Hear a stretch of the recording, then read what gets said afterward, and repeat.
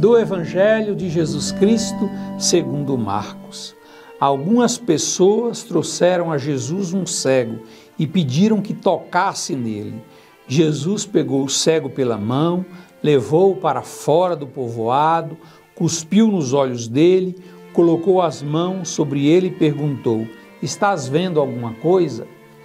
Minha gente, no Evangelho de hoje, nós encontramos uma cena muito bonita que mostra como Jesus tinha paciência e tinha cuidado com as pessoas que estavam em necessidade, com aqueles que precisavam de atenção, que precisavam de cura.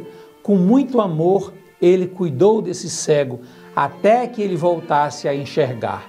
Com o mesmo carinho, ele cuida de cada um de nós.